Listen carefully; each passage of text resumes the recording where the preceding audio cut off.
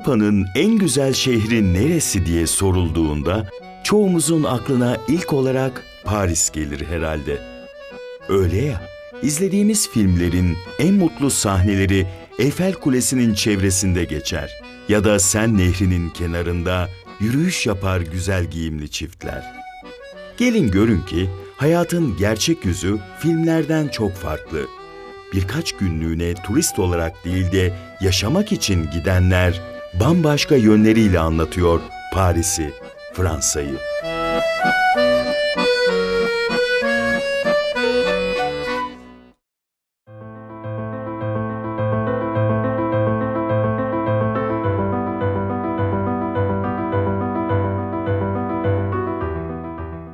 Son verilere göre ülkedeki yabancı nüfus sayısı 4,4 milyon.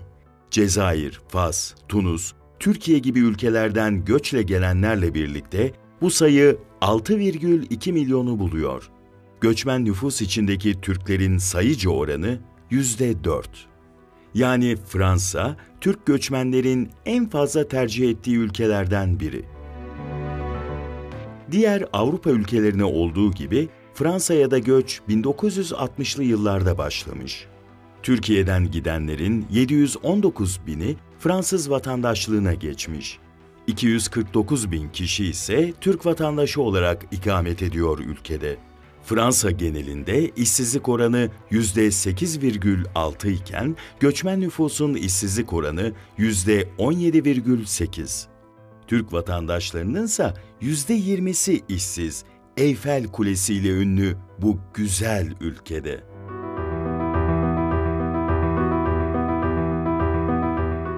Göçmenlerin ülkedeki sosyal ve siyasi haklarına gelince, Fransa'da Avrupa Birliği üyesi ülke vatandaşları dışındaki yabancıların yerel ve genel seçimlere katılma hakkı yok. Ancak Avrupa Birliği üyesi ülkelerin vatandaşları ikamet ettikleri bölgelerde yerel seçimlere ve Avrupa Parlamentosu seçimlerine katılabiliyor. Fransız vatandaşlığına geçen Türkler de aynı konumdaki diğer yabancılar gibi bu hakkı kullanabiliyor. Henüz ülkede seçilmiş Türk kökenli parlamenter olmasa da vilayet meclisi üyesi, belediye başkan yardımcısı, belediye meclis üyesi vatandaşlarımız var. Ekonomik ve siyasi sorunlara ek olarak özellikle Batı Avrupa ülkelerinde giderek artan yabancı düşmanlığı ve ayrımcılık vatandaşlarımızın bu ülkelerdeki huzur ve güvenliğini tehdit ediyor. Bu nedenle yurt dışındaki vatandaşlarımızın sosyal güvenliklerinin sağlanması, bir sosyal hukuk devleti olan Türkiye Cumhuriyeti'nin en temel görevlerinden. Yurt dışında bulunan ve belli bir süre yurt dışında yaşadıktan sonra yurda dönen vatandaşlarımızın sosyal güvenlik haklarını korumak ve bu ülkelerde geçen çalışma sürelerinin Türkiye'de sayılabilmesi için vatandaşlarımızın bulundukları ilgili ülkelerle sosyal güvenlik sözleşmeleri imzalanıyor. Bu amaçla ilk olarak 1965 yılında Türkiye ile Fransa arasında çalışma ve sosyal güvenlik alanında ikili ilişkilerin temelini oluşturan İş Gücü Antlaşması da imzalanmış. 1973 tarihinde yürürlüğe giren Sosyal Güvenlik Sözleşmesi ile birlikte de Fransa'da ikamet eden, çalışma ve oturma iznine sahip vatandaşlarımızın yanlarında bulunan veya Türkiye'de ikamet eden aile bireylerinin çalışma hayatı ve sosyal güvenlik hakları güvence altına alınmış.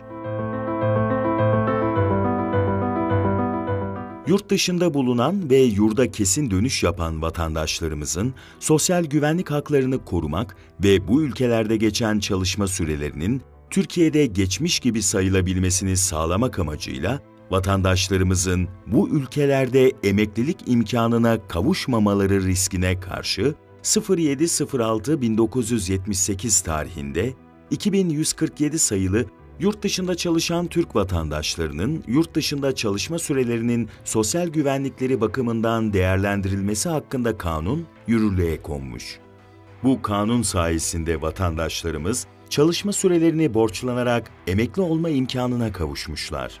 Daha sonra bu yasa güncellenmiş, 1985 tarihinde 3201 sayılı yurt dışında çalışan Türk vatandaşlarının yurt dışında geçen sürelerinin sosyal güvenlikleri bakımından değerlendirilmesi hakkında kanun kabul edilmiş.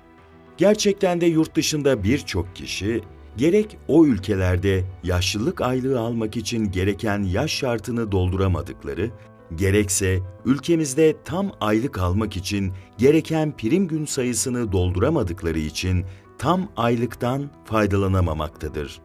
Vatandaşlarımızın bulundukları ülkelerde maruz kaldıkları olumsuz davranışların ve ayrımcılığın topluma uyum çabalarına nasıl ket vurduğu düşünüldüğünde, yaşadıkları topluma yeterli ve nitelikli katılım gösterebilmeleri ve uyum sağlayabilmeleri için kat edilmesi gereken daha çok yol var aslında.